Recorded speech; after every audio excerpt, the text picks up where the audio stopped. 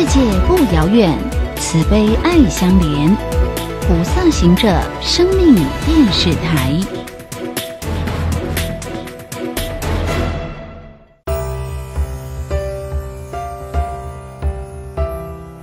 接下来，请收看菩提系列。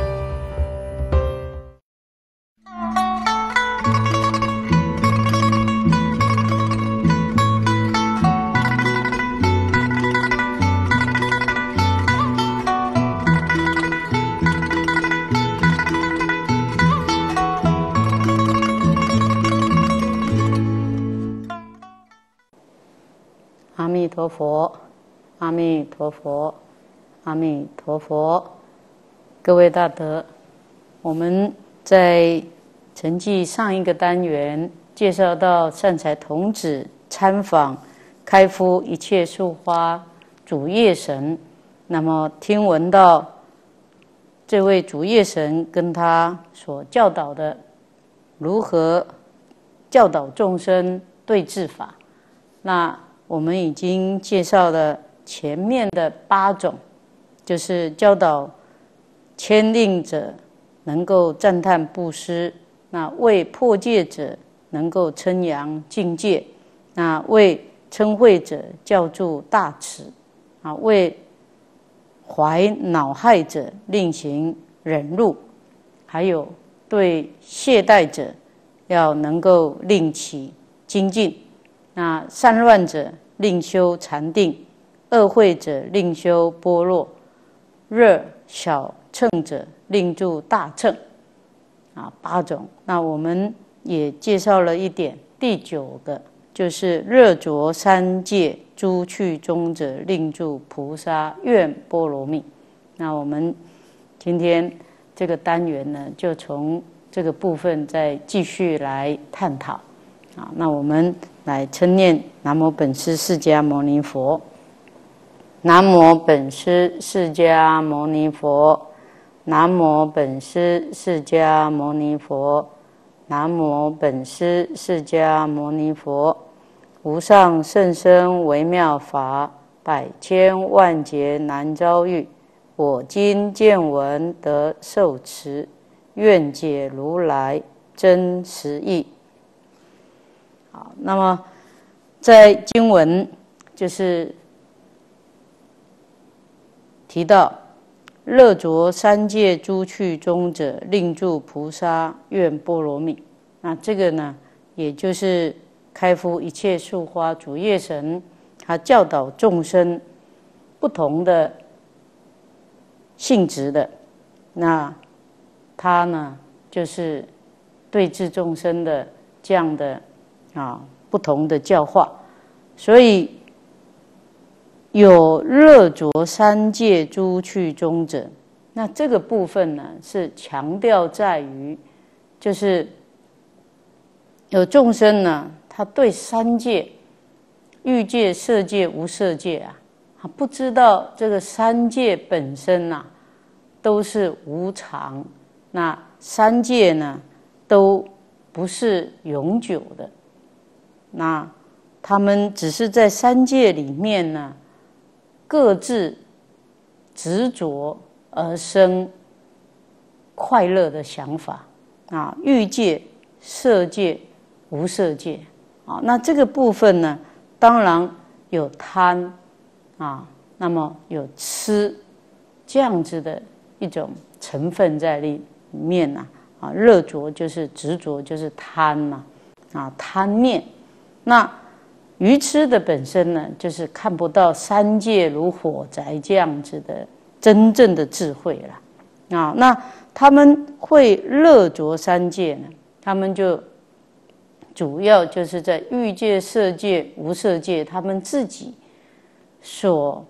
啊存在的这样的一个空间呐，他们就觉得说这个就已经很好了。像说欲界里面呐。啊，啊那就是充满了贪嗔痴烦恼啊！可是呢，他只要在这个欲界里面呢，五欲啊，就是眼睛喜欢，或者是耳朵所乐闻的，或者是鼻啊喜欢的这个嗅觉，或是口所尝到的，或者身体所感受到的任何的这种热啊、快乐的触觉啊，那这一些呢，他们都觉得说啊，那所要追求的快乐，就是在这个五欲之中啊，啊，那乐此不疲啊，啊，那他们不觉得说，在这个里面所产生的这种痛苦，还有在这个中间所贪执的这些。五欲的对象呢，实际上呢，本身都是无常的，本身呢，本质都不是实质的，可是他们就是愚痴到没有办法看到这样的真相啊，所以一般呢，啊，就是在这个里面在一直追求，啊，所以呢，我们说世间呢，啊，那乃至呢这些名利，那这些呢都是。所追求的对象，那都以这个为他们的生命的这种啊价值，所以在这个里面呢，他没有办法脱离出来啊。那还有色界的众生，或是无色界的众生呢？啊，那色界的众生呢，因为他们就已经开始呢有一种安定的状态了啊。那再到无色界的时候呢，他们就是存在这种精神的这种状态里面呢。啊，他们就觉得说，哎，那这个就是啊一种他生命的寄托了，他生命就安住在这个中间了。那这个部分呢，就是没有办法看到啊这种脱离这种苦的境界啊啊，因为即使在色界或是无色界啊啊，那他们就会有天的这样的享乐啦啊，那寿命也很长啊啊，可是呢，他的这种。时间性啊，都还是有限制的，啊，都不是永久的，所以他的报有尽的时候的时候呢，那他还是会去受苦，啊，那就是他没有办法这样的整体观啊，那应该是他本身也没有办法听闻到佛法，了解啊真正的这种世间的真相的这样的一个智慧。那一方面呢，他自己本身呢执着在他自己对于欲界、色界或者是无色界这样的一种啊这种快乐啊，他们就觉得这个就是永久的，所以这个时候呢，就要教导啊这样的众生呢，让他看到啊看到呢佛菩萨的境界啊，所以呢就是要能够起菩萨的愿波罗蜜啊，就是。他自己本身有执着的这样的一种啊，这种对象啊，他应该要扩展啊，那所以要发这个愿啊，就是要学习佛菩萨，那有佛菩萨的智慧，还有佛菩萨的慈悲啊。智慧的话呢，就是开展看到我们生命的更深更广的这样的层面，然后呢啊，就是有。慈悲的话呢，就愿意呢，也能够度化受苦的众生。那这样的时候呢，就不是只有安住啊乐着在欲界、色界、无色界的这样的一个小小的这样的一个啊境界里面呢，那应该呢，就是在扩展出来。所以呢，能够有这样的愿波罗蜜啊，是菩萨的愿波罗蜜啊。那这个是第九的部分呢。那第十的部分呢，就是教导众生呢，它是属于福智为劣的啊众生呐，就是他们的福报啊，他的智慧呢，就是薄的，比较少的啊，没有福报。还有呢，他们的智慧能够观察世间的这种真相的能力也薄弱的。那么这样子的众生呢？啊，他们是为诸结业之所逼迫，多留爱者，就是说，因为他们少福报啊，那他们呢就是多障碍啊，就是多障者。那他们自己本身呢，就是受到他们的业障啊、业报所障碍了，所以呢，他们这样子的一个啊福智为劣的这样状态呢，就要教导他们呢。能够令住菩萨利波罗蜜，就是说，他有业力的这样的障碍啊，那么他现在呢，就是要靠啊他的这种啊发这种要对破他自己的这种障碍啊，当然也是要起一个愿呐。那所以呢，从愿里面呢产生的实质的力量，那不只是对破他自己的障碍，那要对破自己的障碍呢，当然就是要提起精神呐，那实质的去行啊这种善业。多修福报，那就是要从能够啊跟众生结善缘的这样的实质的这种善业。那要能够修福报呢，就是我们从身体的劳动啦，愿意帮人家服劳役啊，啊服务人家啦。那自己呢也要能够啊能够真正的去发展自己的能力啊，扩展自己的能力了。那这个部分就是自己的智慧提升。啊，那自己的智慧提升，然后愿意呢为众生服劳役，那这样的时候就是修福跟修智，啊，所以福智的本身呢，都是要一股的力量，啊，就是我们要提起精神呐，我们愿意来突破自己的这一些的障碍，啊，因为障碍是我们自己的过去的这一些的业，啊所形成的啦。那过去的业呢，也就是说我们以前。我们是怎么样子在啊过生活的？我们以前的生命是怎么样的状态啦？那我们过去呢不愿意跟人家结善缘，那这一世呢我们的福报就少啊。我们众生呢啊看到我们就没有起欢喜心呐啊，那这个福报少。那我们过去呢自己本身呢也不愿意呢起一个力量啊来对治我们自己的贪嗔痴啊懈怠啊种种的这些的习性。所以呢，我们自己本身呢，就好像把自己的心呐，啊，就好像闷在我们自己的一种好像局限里面呐，那不愿意走出去，不愿意打开我们的心门呐，那多学习，多看，看要看好的，那听一听好的，那啊，要听闻到真正对我们自己有利益的是啊，看到自己的问题，然后呢，真正啊发展我们自己的力量了，那这些呢，才是真正有利益的。啊，那从这样子呢，是真的都要有一个力量在那里支撑呐，啊，所以说要有利波罗蜜的时候，不只是利益自己，打开自己的问题，破除自己的障碍，然后呢，还要有菩萨的这样的啊，愿意利益众生的这样的力量啊，愿意去啊，就是能够帮助众生呐，所以这个时候呢，才是真正的能够。开出我们自己的福报跟智慧了啊，所以这个时候呢啊，也解决了自己的问题，也解决了啊众生的这样的一个困苦的这种啊帮助，所以这个呢就是令助菩萨利波罗蜜啊，所以这个是教导众生对治自己的问题，还能够呢行菩萨道啊，是这样。然后呢就是。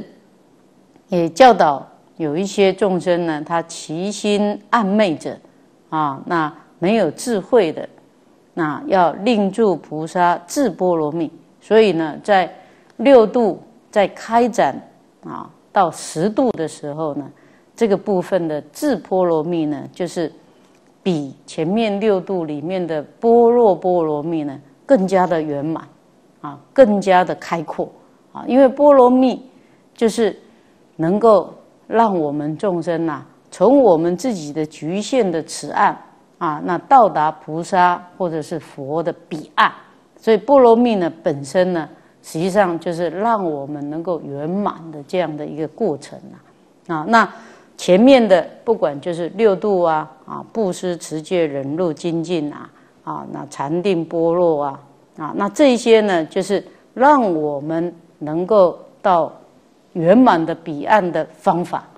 啊，那六度是基本，然后再扩展到菩萨佛的，那就是还要再增加啊，愿波罗蜜、利波罗蜜、智波罗蜜啊，还有一个是方便波罗蜜那在这个里面呢，就是开敷一切树花主叶神呢，他没有特别在标方便波罗蜜呢，可是呢，就是当他在对不同的众生的根基啊那不同的教化的时候，基本上也就是方便方便波罗蜜的了啊。那在最后的这个智波罗蜜呢，它又有别于波罗波罗蜜呢，就是主要的应该是在于波罗波罗蜜呢，它是主空，就是能够看到一切诸法，就是我们的生命本质啊，还有我们的这种正报跟医报整个环境的这种互相的牵连的关系啊，它对我们啊，就是还没有了解一切真相之前呢。我们看不清楚这一些的状态的这种原理，所以波罗呢，它就是有这样的一种智慧啊，有观察到它的真正的关系性，那能够看到说，哦，那因缘法本来它就是空的，那我们不受啊，不受这样的一个约束了啊，就是不会局限在这种中间里面起贪嗔痴烦恼啊，所以。这样的时候呢，是波落的一种基本的这种作用。然后从空里面呢，当然也要看到，啊，在空中而不空呢，就是说，那它本来的本质是空的，啊，没有它的实质性。可是呢，又有世间的这种互相的这种关系的影响，所以我们也要去了解。所以它有假有存在，那我们就要去了解这些假有的关系。那到了。这个菩萨的智波罗蜜的时候呢，就更加的扩展了，啊，就还要再发起呢，了解整个的这种正报、依报，乃至跟一切众生，乃至到佛菩萨整个的这种智慧，我们都要去学习了。那就等于是法门无量誓愿学啊，众生无边誓愿度啊，啊，那种种的佛道无上誓愿成啊，那。这些全部都要去圆满了，所以这个时候的智波罗蜜呢，是等于是成就佛跟菩萨啊这样的这种境界的智慧了啊，所以这个地方呢是更加宽阔、更加的圆满啊，所以这个部分呢，就等于呢是总称所有众生呐，如果还没有到这样的层次的呢，那都是其心暗昧，就是等于是还有无名。还有无知了啊，所以呢，他们还要再继续再提升啊，所以这个时候呢，就是啊，要能够呢发展菩萨的智波罗蜜，所以这个部分呢，就是等于我们啊看到这个开敷一切树花主业神呐，他教导啊善财童子，他对治众生的这样的教化的法门。啊，那他讲完了这个部分以后呢，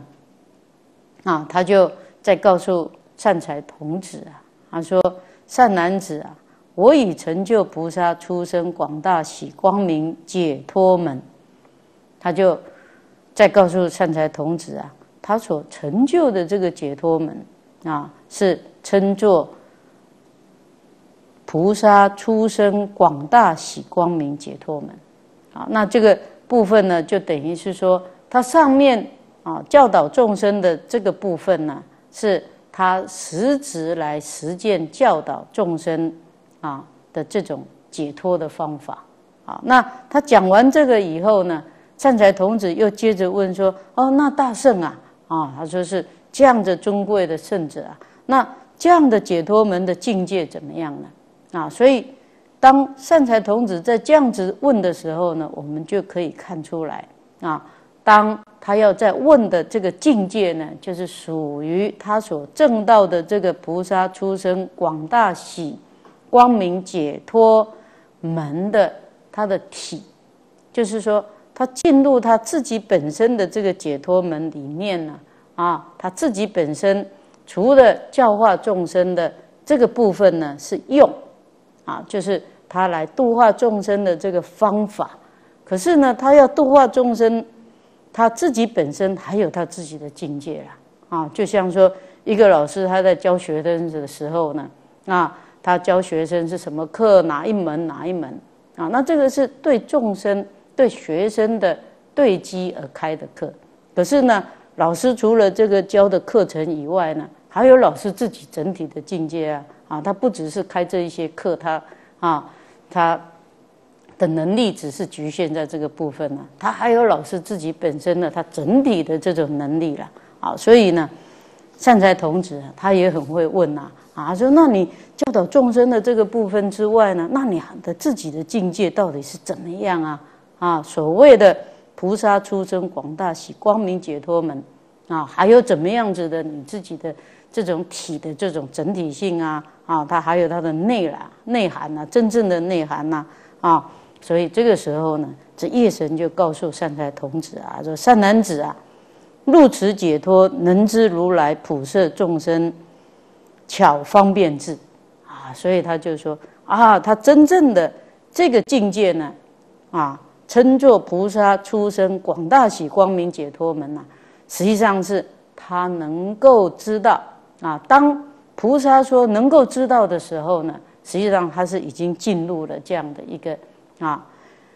对象的境界了啦，他能够进入什么呢？进入如来就是佛了啊。那在《华严经》里面的如来呢，实际上呢，啊，基本上的主尊呢，就是毗卢遮那如来啊，那就是等于说他已经能够进入譬如遮那如来呢，他普摄众生的巧方便智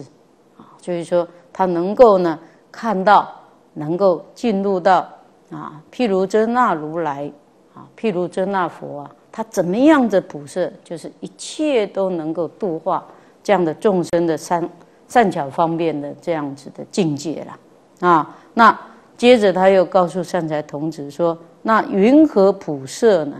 啊，所以说他要接着告诉善财童子，这个普摄是怎么样，然后呢，他能够啊进入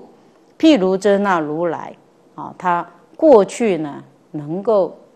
在他行菩萨道的时候的这种种种的菩萨的度化的这样子的啊，整体像海一样的菩萨行啊，所以这个部分呢，就等于是善财童子在啊，请问这位开敷一切树花主业神。他自己本身的这个菩萨出生广大喜光明解脱门的境界啊。那这个解脱门呢，既然呢，就是这位主业神告诉善财童子说，他这个解脱门的境界，既然是能知如来普摄众生巧方便智啊，那接着他就要解释说。这个里面的内容是什么？它名称是称作“出生广大喜光明解脱门”。那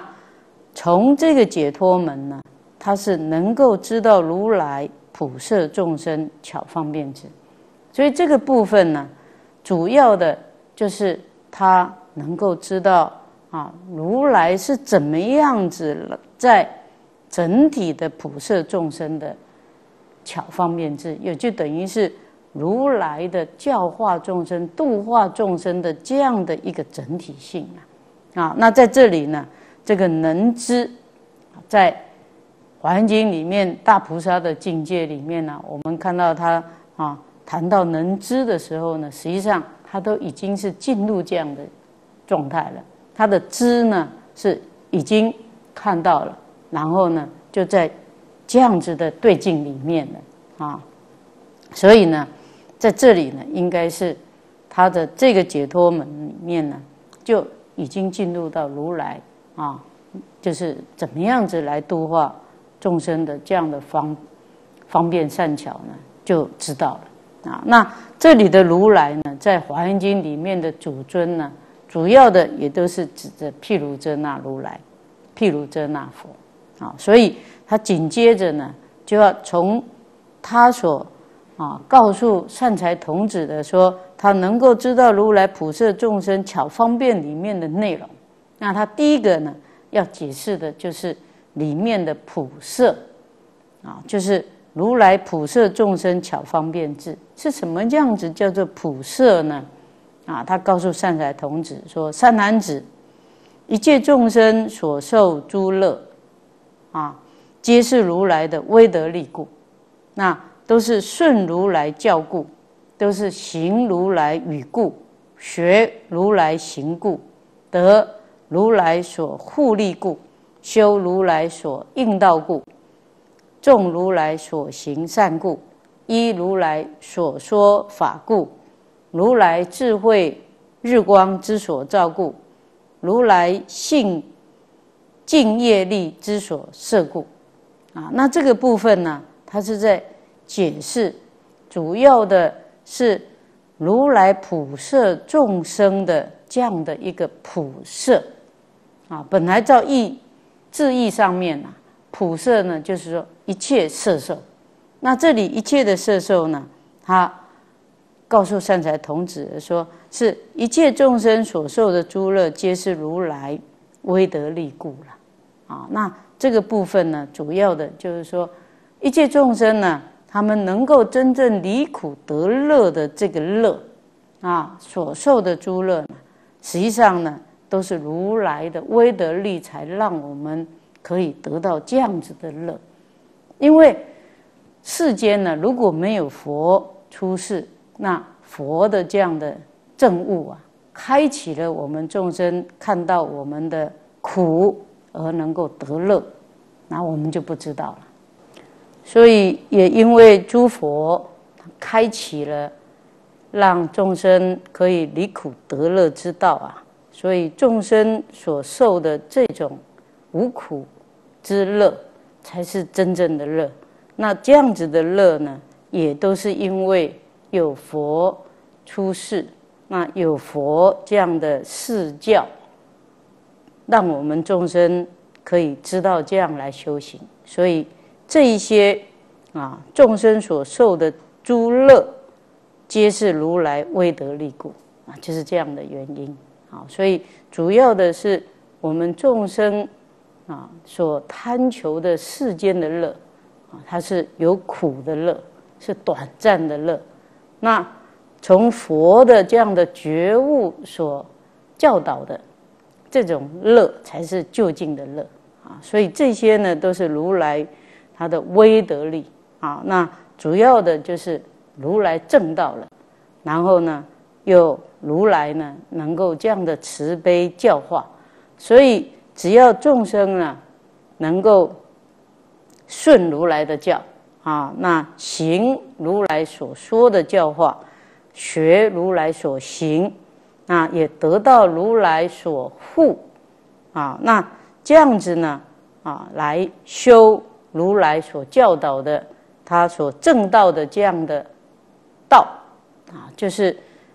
在经文里面说所应道，那就是所正道的意思了啊。那也能够呢，众如如来所行的这样的善啊，那依照如来所说的法来遵行啊，那也得到如来的智慧日光的照耀啊，那也能够得到如来的清净的这样的。啊，业力所持色啊，那这样子呢，就是得到如来的普色啊，所以这个就等于是都能够依照佛的这样的教导呢，都能够往着往如来的这样的正道的这样的一个方向啊去成就，所以这样子呢，就是。这位主业神呢，他告诉善财童子的，就是实际上他所证到的这个菩萨出生广大喜光明解脱门呐，他的本身的境界的体，就是完全进入到啊，譬如遮那如来他的教化的这样的一个整体的慈悲摄受众生的这样的一个境界了啊，所以呢，他接着又告诉。善财童子说：“云何知然？还是说，怎么样子能够知道啊？是这样的一个情况呢？啊，确实是如此呢。”他说：“善男子啊，因为我入此出生广大喜光明解脱意念，譬如遮那如来应正等觉往昔所修菩萨行海，悉皆明见。”啊，所以这个部分呢，更加的详细的啊，明确的说明说，实际上他入到这个解脱法门呐，出生广大喜光明解脱啊，这样子的一个慈悲法门呐，实际上呢，